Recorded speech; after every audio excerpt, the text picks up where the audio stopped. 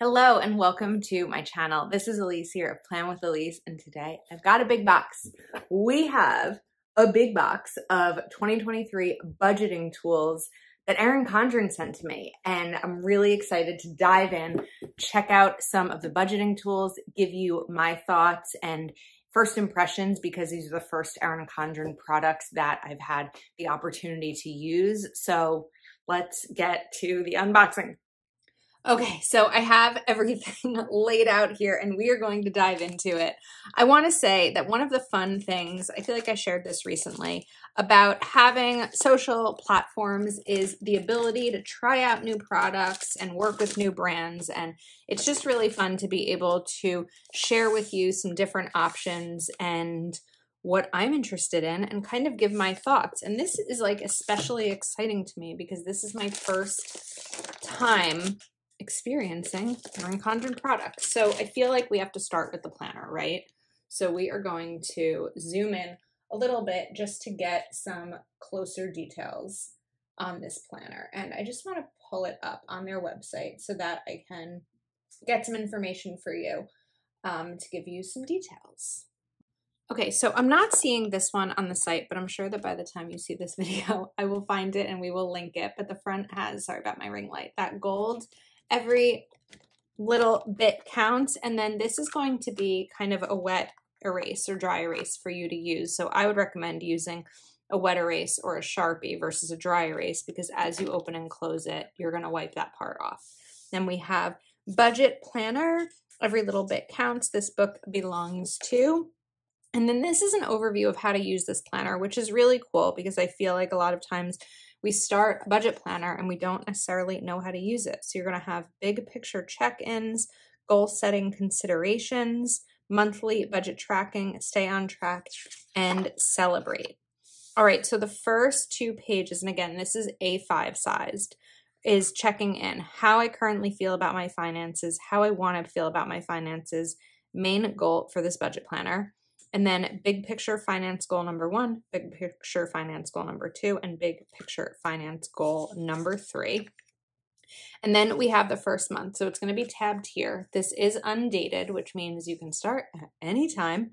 And then we have the date, bills, financial dates, and deadlines. I like that this is kind of a combination of financial dates and deadlines because I feel like sometimes we do have financial deadlines, even if we don't necessarily consider them a bill. Like for me, exam for an example, I know that in December I have my next round of Botox, which I get for migraines. And I guess it's a bill because eventually I'm going to get one. But before I even get a bill, the neurologist office is going to call me to get my payment info because they have to order the medication to come from a pharmacy to get delivered to the neurologist's office. So that's kind of like a financial deadline. You also might consider holiday shopping a financial deadline because even though it's not a bill, it's something that you're going to want to have the money set aside for before that happens. And this is really cool. I don't think I've ever seen this restock on and larger purchases. So for me, every once in a while, I have a big grocery bill because I need to restock my pantry or like recently I had to buy more salad dressing. It takes me like several months to go through a, a thing, can, not a can, bottle, thank you, Ilysse, bottle of salad dressing. So that's mine to restock on. And then you may have some larger purchases. Our purchasing habits and spending habits vary month to month, season to season. And then you have this space to put your financial goals. So you can kind of like map it out here. You use can use this checklist to note when you've checked them off or just other to-dos that maybe don't fit in either one of these spaces. And then this shaded area as well. And now we have the monthly overview. So overview four, you'll put the month here. Then you have income. So there's a couple of different ways that I think you could use this. You could write the date here and the income number if you get paid in multiple times a month, which I feel like most people do. If you have a partner or someone that you share finances with, you could put like yours here and theirs here. Um, you could also put different sources of income. So for me, I am single, but I have multiple sources of income between a full time job, YouTube, Etsy, Patreon, things like that. So I could put those down over there. And then you could put your housing costs. So you could put like rent or mortgage and then the amount that's due. I'm a little confused by this. I'm just going to look on their website because I feel like maybe it would make sense. I know sometimes we have like actual versus budgeted and stuff like that, but I'm not seeing a um, filled in page. Oh, I am seeing a filled in page. Okay. So in the page example on the website, and again, this is forgive me for not knowing all of the details because this is my first time using an Erin Condren budget planner, but on the example, it says to put mortgage here and number here. So that would be the housing cost and the number. Or for utilities, you could put like gas, 80, electric, 230, etc. So it's not necessarily meant to be and budgeted versus actual. I think I was confused because for me, most of my bills stay the same every month.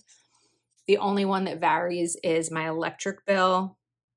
And I guess food bills could vary, gas too, but I, the way I do it, I usually just give myself the same amount of money each month. Or as things come up, you could put different expenses like um, health expenses that come up. But then the idea is to do total income minus total expenses, the difference, and the total savings. And then we have a spending register. So one, two, three, four, two, five, and six pages of weekly spending. And then at the end, we're not we're on to the next month. So again, the bills, financial dates and deadlines, and this month's financial goals. So there isn't like a separate divider. It kind of just goes right in. This is the divider page. So it kind of just goes right in to the next one. And then the color scheme is changing each time as well. So some nice, it almost looks like their color blends collection. I feel like the cover kind of looks, yeah, like their color blends. And the Erin Condren paper is really nice. It's like a little bit more of a beigey, but it's really toothy and it's a good quality paper. Heard people talk about that for so long. So this is, I'm assuming it's 12 months. Let's see. Oh, wait, there's more in the back. Hold on. We're going to back up for a second. See if I missed something here. Okay, I did. We missed a quarterly check-in. So after three months, you're going to get this quarterly check-in. How I feel about my finances, progress I've made, any pivots or adjustments to make for the next three months. That's vital. Monthly budget reviews or even quarterly budget reviews are so important. And then we have the three big pictures. So you're going to get that, should get that at the end of every quarter. Yes, here. And then let's go towards the back because I saw some things here. So this is your 12 month budget check-in. How I currently feel about my finances, progress I've made toward my financial goals, progress I've made on saving or investing, and progress I've made on paying down debt what worked to keep my financial goals on track, what worked to keep my spending on track, any pivots or adjustments for the next 12 months, financial goals I want to focus on next. And then we have trackers, which I love. I love savings tracker. We know this about me. So saving for, saving goal and deadline, and then date deposit and total. So because it's the easy one, let's say we're doing Christmas right? Christmas, the savings goal for me is usually $500. The deadline is typically Black Friday. And then all year long, you'll be able to track your savings on here. And what you could also do is instead of deposit, you could keep it as deposit, but you could also, as it's going on, do like a plus and minus if you took money out for something. So some an example of that would be um, a few years ago when I was going to my friend's bachelorette party and I was saving for a trip to New Orleans. Well, as I was saving, there was spending happening because I would need to pay for my flight and then I would have to give my portion for the Airbnb and things like that. So I was continuing to save, but I was still pulling money out at the same time. So then we have more. So there's a lot of savings trackers in here. So one, let's go back. One, two, three, four. You could also do this as one long savings tracker. Five, six, seven, eight, eight savings trackers. Then we have a debt or payment plan tracker. So the total amount owed, starting balance, minimum balance, date, amount paid, and balance. One, two, three, four. Four, but eight if you want to use both sides. Then we have special occasion budget tracker. So that could also be used for the holiday season because aside from gifts, there's other spending, right? Maybe cards or gross like groceries for a party or something, or this could be for planning a party. So one, two, three, four, five, six, seven, eight. Probably too many for me. I don't have that many special occasions, but I feel like if you lead a busy social life, that may be a good element in this. And then there's a couple of budget stick, uh, one page of budget stickers. So these are fun, savings, payday. And then you have the same wet dry erase on the back. So this is the A5 budget planner. Let's continue. Next up, we have a budget accordion file. Crunchy sound. Okay. Now I have a few thoughts on, on uses for this just by seeing the title. I've got to be able to undo it though. What is going on here? Okay. All right. I think it was like my nails. I couldn't get my, my nail under it. This is pretty. I think this is the Flora pattern and this is budget file. So I think that if you're someone who likes to use cash envelopes, but you don't want to bring all of your cash out with you, nor do I think you should, this is a great way to put to use this for cash. It's also a great way for to store receipts. So these are like pretty heavy duty cardstock in here, but I think that for receipt tracking and cash tracking, this is a really good tool. And it's pretty and it's pretty compact too. If for some reason you wanted to, you probably could throw this in your purse um, because it's not it's not very large at all. So that is the accordion file. Up next, let's pull out the budget sticker book. We have budget functional sticker book. Stick to your budget with over 600 colorful and mixed metallic budget stickers. Ooh, so we have these bill Do stickers. I love that this is like a book. I, that I'm like really excited about. So bill due amount and paid, and then bill due corner stickers. And then we just have some more color schemes here, the same stickers. Up next, these say no spend challenge. And then you have a piggy bank, an envelope, and an open envelope. And then payment plan. So the, the item you're paying on, paid balance, and payments left. And these say payday. Weekly spending. And then these payday and bill due sticker corners. Weekly spending in the jewel tones monthly money check-in, budget, saving, debt, goal, and then these little piggy bank icons, dollar sign, and shopping cart icons.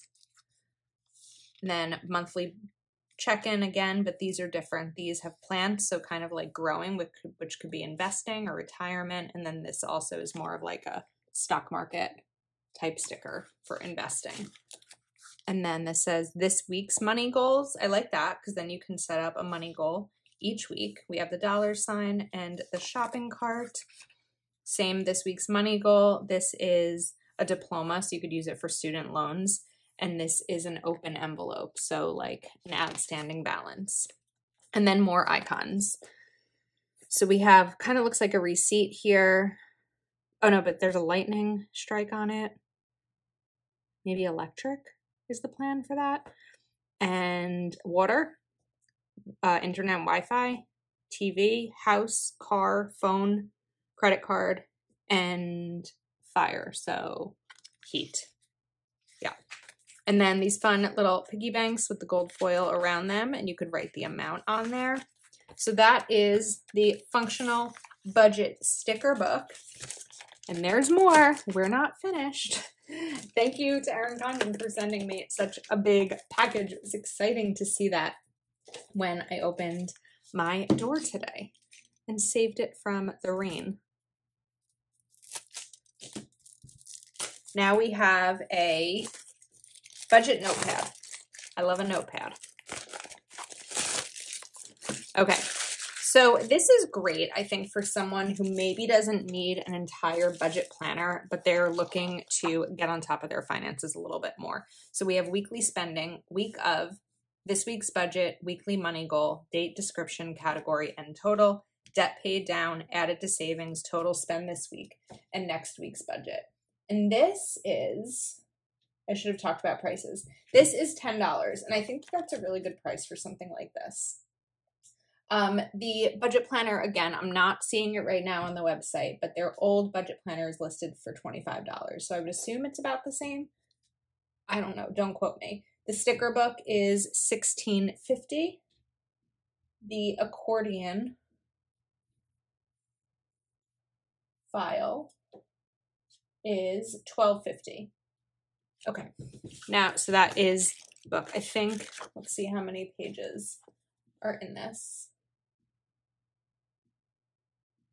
Hmm, I'm not seeing that there, but let me get back to it. Okay, sorry. This is 50 sheets and it's six inches by eight and a half inches. All right, continuing on. Now we have some inserts. So these are inserts for a ring planner. So there's six holes punched for the rings. I don't have the rings to put them in, but we're going to go through these inserts and check them out. And then this is a monthly bills dashboard also punched for rings. So you'd write down all of your bills and then each month you could write down the amount or you could write down when you have paid them. Wet and dry erase two sided reusable and positionable fits A5 ring agendas. So that's what this will fit as well. Let's move this over and there's something in the back. Oh, stickers. So this is the Petit Planner budget book. So this comes with, well, this was part of this pack, so we'll get to that shortly. But I want to see if this is the same setup as the other one we had or different. So we have the budget planner. It looks so far like it's the same. It is. So it's just a matter of if you want yours on the coil or you want it on rings. I think that what's nice about doing it on rings, and we say this because I'm a mainly disc bound planner person, is that you can take them on and off and you can add to it and punch things to put in it. So yeah, this is going to be the same as the budget planner that we just flipped through. So I'm not going to go through the whole thing, but let me look at the size and see if it's the same size. Yeah, it's going to be about the same. Let's see. Okay, perfect. So it is also A5 sized, but again, the difference is either the coil, and this comes on a gold coil. I also want to note, oh wait, is it pop-offable? It is pop-offable. I feel like there's a better word for pop-offable. You could totally do a different cover on this if you wanted to, because these have perforations, which is really fun. So you could change your covers for this season. Since we know I like customizable things, let's look at or configurable, not customizable. And then we have these two sticker sheets. So like budget, payday, savings, some fun sticker sheets that coordinate with that. And then again, that monthly bills dashboard. Up next, we are continuing with the, get the right name here, this is a sage. I don't see the name. It's a folio, so it's a soft folio. Let me get more details. Okay, I realized we got a little blurry in that last clip. This is a Sage vegan leather folio. So it's so lightweight and it has this little snap closure. You'll be able to put your pen in there and then there's pockets. So there's a pocket here and a pocket here, which you're probably supposed to put your planner in.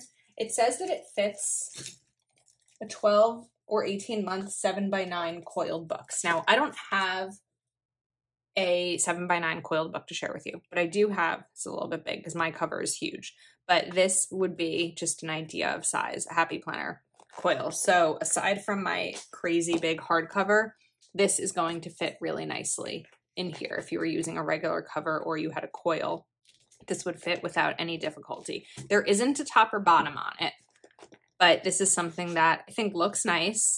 And I like that there are some pockets in here. You could put a marker here, you could put a pen here. So I think that that element is really nice. And again, it feels good. So this is a little bit more expensive. This is $39.50, but this is their Sage Vegan Leather Folio. Okay, and now we have a couple more products. So let's move this out of the way. And we have these budget dual tip list markers. All right, I grabbed a sheet of paper so we could test these out. These are budget dual tip list markers. And I think the idea is that on one side, it's a marker, and on the other side, it's a stamp. Color and functional finance stamps and fine tip markers, new go-to writing tools for budgeting. So let's test these out. I'm intrigued. Okay, so this, they're not all, they're not all going to be the same, the color that it looks like. So these four are going to be black ink. So let's make sure we can see here. Um, test. Oh, like real black ink. Okay. And then the other side, this is supposed to be a circle. All right, maybe. First one I felt like I pressed too hard. This one I can't seem to get again to the full circle. Okay, so you have to press pretty hard to get it. But that's interesting. You can kind of like, I don't know, this is going to be the same. Um, color code your system, but with icons. This is a check mark. So that one works pretty well. Still have to press decently hard. Like if I go lighter, I don't get the whole thing. So just like a nice firm amount of pressure on that. I don't know why I'm still doing the tests on these, but they're the same, but it's okay. This one is going to be an asterisk. So this color is ras raspberry. This color is robin. Okay, so same. In order to get the full imprint, you really have to press hard. That's going to take a little bit of practice for me. And then the pink is also black tip. And the pink is a piggy bank, which is cute. So let's get this, like trying to get it the right way. We might be upside down here, we're going to see.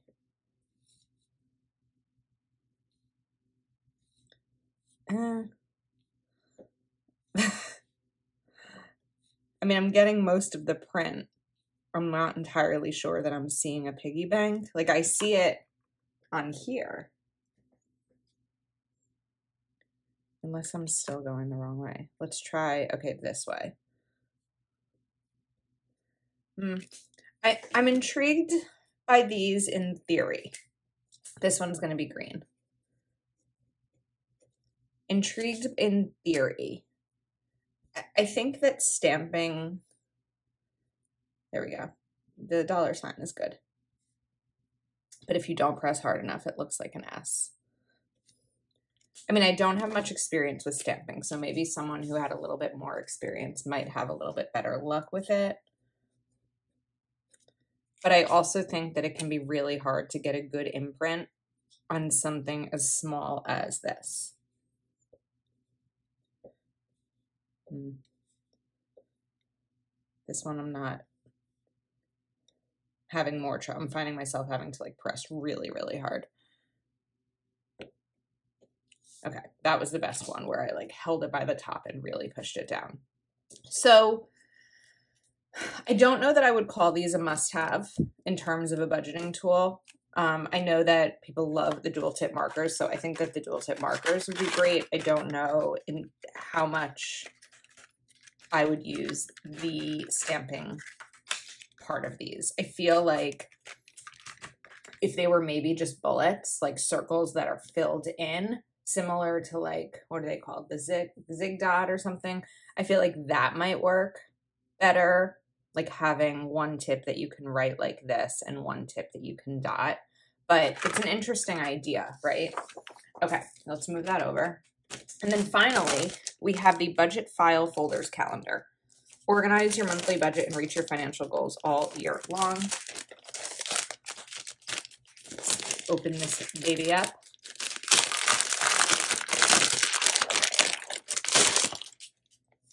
Erin Condren budget file folder calendar. We need to we need to zoom out here.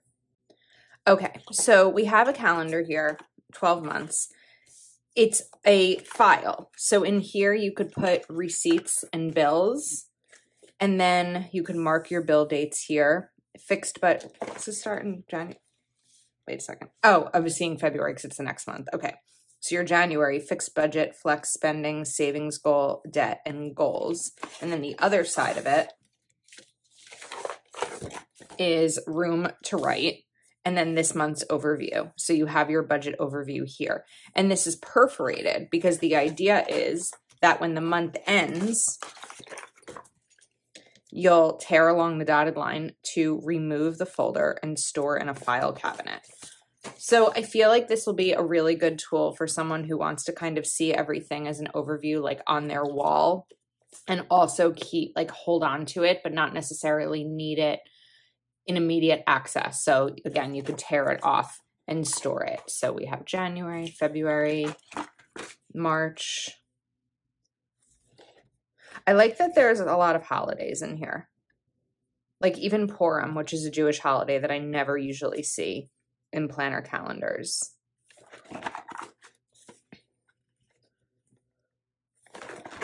Um, April, sorry, May. I'm just like getting focused on here. Cinco de Mayo, Mother's Day, Memorial Day,